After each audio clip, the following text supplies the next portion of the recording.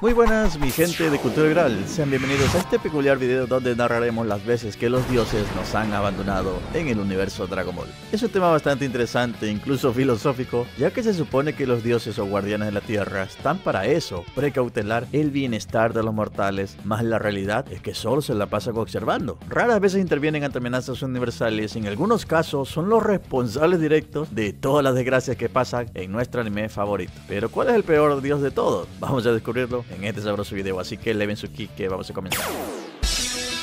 Pura chilena. Muy bien, dentro de los primeros dioses que se introducen en Dragon Ball tenemos a Kami-sama. Dicta la historia que un Namekusein sin nombre llegó al planeta Tierra escapando de una catástrofe climática que exterminó a toda su especie. ¡Huele a historia! Había una carta que decía espéranos y así fue. El Namekusein esperó, esperó y esperó hasta que un día dijo chingue su madre voy a recorrer el mundo. El problema fue que este Namekusein fue testigo de los peores horrores que solo la raza humana puede cometer. Soy un rebelde, me gusta romper las reglas, soy un antisistema. Siendo que su especie no conocía la maldad, el Namekusein desarrolló resentimiento a los humanos, o dicho de otra forma, maldad en su corazón. Pero la historia también dicta que para hacerse con el trono de Dios, el Namekusein debía deshacerse de toda esa maldad, y así lo hizo. De aquel Namekusein sin nombre nacerían dos entidades. ¿Cómo se llama? La que conocemos como Kamisama y Piccolo Daimaku, líder de la autodenominada familia del mal. Este ser siniestro trajo el karma al planeta, como si fuera un castigo divino, nunca mejor dicho. Piccolo Daimaku y sus hijos llevaron a la humanidad al borde de la extinción Hubiese logrado su cometido si no fuera por el héroe que la misma humanidad olvidó. ¿Cómo se llama? Sí, el gran maestro Muitaito, quien sacrificó su vida con tal de encerrar al demonio de la tierra.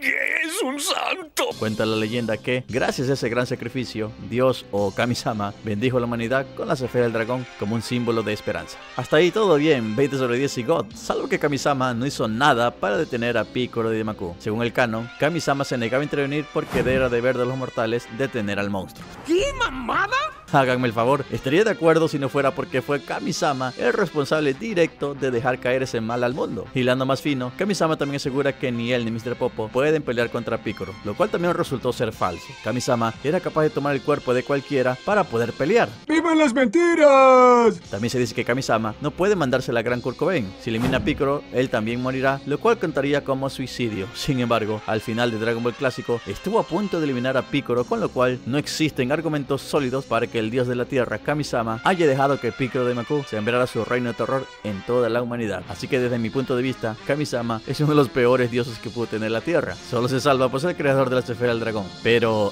solo que eso de nada hubiese servido si toda la humanidad hubiese sido aniquilada. No se puede contar con Dios para nada.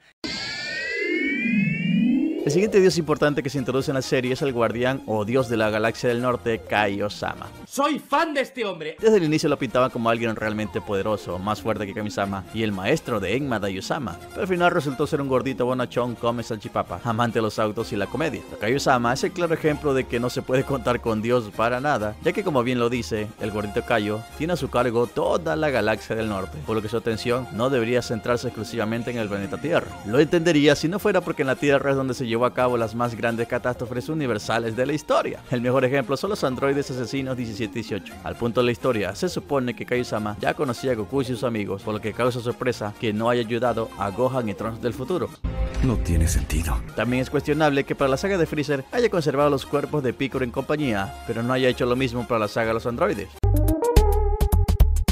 Del mismo modo, para la saga de Freezer formuló toda una estrategia con Shenlong y Porunga, pero acá ni siquiera asoman las narices. Sería en la saga de Cell donde se daría parcialmente la explicación, pues resulta que el gran guardián de la galaxia del norte, Kaiosama, se había quedado dormido. ¡Me defraudaste, gordo! Sí, en la Tierra había nacido la amenaza universal más grande de toda la historia, Cell perfecto, más Kaiosama ni enterado del asunto. Y que se supone que al menos los dioses observan, pero ni eso. Dios sencillamente los dejó a su suerte. Siendo así que Kaiosama es uno de los dioses más responsable de toda la historia. Solo se salva por haber enseñado el Kaioken y la Genkidama a Goku, además de todo soporte a lo largo de la serie, incluso al final de Dragon Ball GT. Por lo demás, nunca un meme fue mejor planteado. No se puede contar con Dios para nada. Bueno, este es el más hijo de de todos. Si antes pensamos que Kamisama y Kaiosama eran irresponsables, pues este se lleva la medalla de oro. Shin es un dios que está por encima del gran Kaiosama. Tiene a su cargo todo el universo 7 porque es el dios más importante, pero a su vez el más hijo de...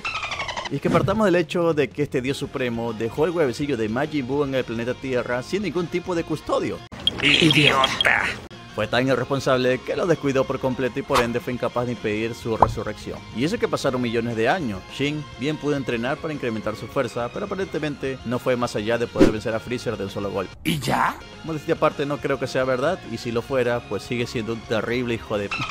ya que no hizo nada durante los tiránicos mandatos del Rey Cold y su hijo Freezer. Pero bueno, en su debut, Shin se la pasó de risita en risita en lugar de advertirle a todos los guerreros Z de las intenciones de Babidi. Llegó a ser tan sorete que no les advirtió todo sobre la saliva de Daura, ni mucho menos que Majin tiene la capacidad de absorber gente. Eso último hubiese sido vital para que personajes como Gohan derroten al monstruo. Hoy está bien ser menso. Pero ¿por qué llegar al abuso? Además de ello, ¿cómo explican que Mr. Satan sea el único en poder razonar con Majin Buu y no Shin, quien se supone conocía de pies a cabezas al sagrado Kaiosama? Por si fuera poco, tampoco avisó a los guerreros Z que Gohan estaba vivo. Eso pudo haber evitado que Super Buu aniquila a toda la humanidad. Del mismo modo, bien pudo llevar a Gohan a la batalla contra el pequeño Buu, más demostró ser tan inútil que dice que se le acabó la pila por ir al planeta Namekusein, siendo que Goku, cuya teletransportación no es tan refinada como la suya, pudo ir y venir de ese planeta para traficar a Namekusein hasta se dio lujazo de pasar por el planeta de Kaiosama. Eso si hablamos del canon, porque en Dragon Ball GT siguen las mamadas, como Kibito Shin dejó caer a Goku en la dimensión de la Oca, perdiendo valiosísimo tiempo. Nivel de pendejo es impresionante. También le la madre Goku y todos sus amigos por haber abusado de la esfera del dragón, pero los dioses supremos no hicieron nada para ayudar. Literal, solo se quedaron observando a esta nueva amenaza multiversal, porque el caos que provocaría Omega Shenlong llegaría hasta su planeta. ¿Y qué pensó Shin? Pues huir muy lejos. Naturalmente que el viejito supremo le aventara la madre, pero bueno, así nos damos cuenta de que están hechos los dioses. Son tan inútiles que a ninguno se le ocurrió regalar unos pendientes Potara para que Goku y Vegeta Super Saiyan 4 se volvieran a fusionar. Y en Dragon Ball Super seguimos con el mame, ya que este supuesto dios supremo desconoce por completo quién es Sen Osama. Ahí es donde te preguntas cómo alguien así puede ser el dios supremo de todo el universo. Y ahora que recuerdo, cómo alguien así no fue capaz de quitar la espada Z de esa gran roca. Hasta en el futuro de Trunks vale queso ya que muere inútilmente por ayudar a Trunks a eliminar a Daura, siendo que Bills también deja de existir y por ende Black Goku barra Samas tuvo vía libre para provocar caos y destrucción por todo el multiverso. Y en Dragon Ball Daima sigue la hueva. Puesto que Shin se olvidó de darle el código de acceso a Kibito, siendo que Vegeta y compañía se retrasan más. Y ahora sí que sí, podemos entender por qué el universo 7 tiene las peores tasas de mortalidad del multiverso. ¡Suficiente del payaso! Bien, eso de soltar todo veneno del agua de los dioses y Dragon Ball Super nos demostró que el rol de los dioses es observar. En base a eso podemos simpatizar con Samas, quien despertó su lado maligno al verse incapaz de poder intervenir en los asuntos de los mortales. La problemática es que el canon también establece que son los mismos mortales quienes deben encontrar la forma de solucionar sus propios problemas. En el Besto Shonen, por ejemplo, la presencia de un solo enemigo hace que todos colaboren para erradicar esa amenaza. De hecho, quienes algún día fueron enemigos, hoy en día se unen incluso para ser niñera del hijo del otro. Sí, te habla a ti, Picoro. Por eso el deber de los dioses es observar, más tengo entendido que solo intervienen si la amenaza es universal, como por ejemplo Majin Buu. Con todo ello en mente, el dios menos malos es Kaio-sama. El gordito Kaio fue un gran aporte durante toda la serie. Su único pecado fue haberse quedado dormido en la saga de los androides. Más eso lo pagaría incluso con su vida. De le sigue Kamisama por ser el responsable directo del terrible apocalipsis que sufrió el planeta a manos de Piccolo de Maku. Solo se salva por ser el creador de la esfera del dragón y uno que otro aporte en Dragon Ball Z. El que sí es un hijo de...